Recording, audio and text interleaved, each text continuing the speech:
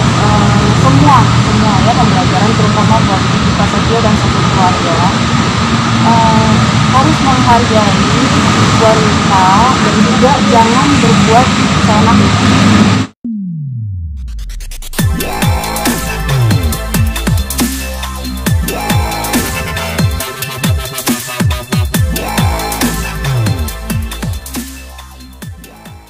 permasalahan juga sudah mulai eh, apa nih mbak bergulir satu-satu sudah mulai terselesaikan Iya, alhamdulillah akhirnya kan ini yang saya tunggu-tunggu supaya nggak setiap hari membicarakan masalah ini terus ini terus ini terus gitu ya. Karena eh, Indonesia lagi kayak begini gitu kan. Saya sih alhamdulillah gitu dengan dengan jaksa sudah menuntut dan saya kan sudah ada endingnya.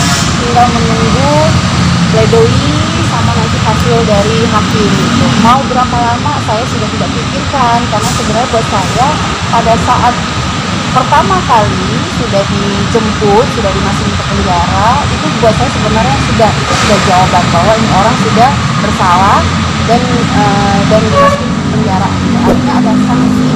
Memang per- perbuatan itu memang dia harus eh, ya memang sudah di, di- dibuktikan lah gitu kan bahwa tiba-tiba kalau jaksa menuntut 8 bulan saya nggak tahu nanti hasil vonisnya berapa lama. Saya kembalikan lagi mau berapa lama itu bukan urusan saya lagi gitu. Karena satu hari masuk penjara aja buat saya sudahnya cukup. Ini saya anggap bonus bonus dari Allah kesabaran saya akhirnya difonis 8 bulan. Terus mbak Angel sendiri ada komunikasi dengan Alman mungkin setelah kejadian ini setelah tuntutan sama Alman setelah ini eh, tuntutan kemarin gitu ada komunikasi lebih lanjut dengan Alman nggak ada nggak ada nggak ada. Tapi Saya merasa terpuas nggak sih?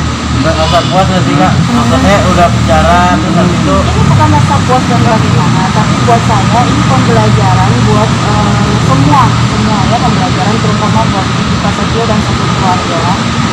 Eh, harus menghargai wanita dan juga jangan berbuat seenaknya apa yang sesuatu yang dirancang memang akan berjalan tidak kan karena pengadilan itu akan pertanggungjawaban pada saat masalah ini saya sudah serahkan ke pengadilan ya pengadilan akan membuka se sebuka bukanya seluas luasnya masalah dia mau mengadili dia mau bentuk opini itu bukan urusan saya.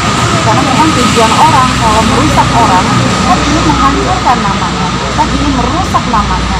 Ya tetapi kembalikan lagi fakta berbicara semua kenyataannya alat bukti semua kan dijabarkan di pengadilan jadi kembalikan lagi saya tidak perlu eh, bentuk opini dia pengadilan tidak perlu bentuk opini dia yang diperlukan adalah fakta. Nah ini kan sudah terjawab semuanya. Dan alhamdulillah begitu kemarin dituntut akhirnya pen semua baru tahu. Gitu. oh seperti ini. Karena kita harus menyadari ini. Tidak semua orang paham cerita ini. Tidak semua orang mengerti perjalanan hukum ini. Yang mereka mengerti adalah jaga ada laki-laki di kamar. Kan yang yang mereka mengerti seperti itu. Tapi kronologinya mereka kan tidak tahu. Nah inilah bentuk keberhasilan Pak Setio merusak nama saya. Ya saya kembalikan lagi tapi kembalikan lagi secara logika. Itu rumah rumah saya. Kamar kalau kita punya kamar kunci pasti di dalam kamar. Ya namanya kamar. Gitu kalau misalnya pada malam itu saya melakukan apa yang ditujukan oleh mereka saya pasti mau menghilangkan bukti. Misalnya nih kalau orang berbuat jahat atau saya yang dikatakan berzina sama laki-laki lain. Pada saat saya tahu ada orang masuk ke rumah saya nggak usah mereka deh ada orang aja pasti saya keluar kamar deh. Iya kan keluar keluar kamar aja pura-pura aja eh ada apa ada apa?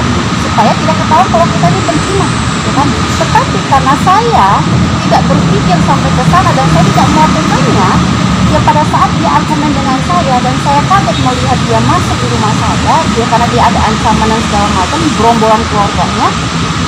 Dan dia ngejorokin saya pada saat dia lihat media. Itu kan sebelum media masuk kan 10 menit saya sempat eh, sempat argumen ya.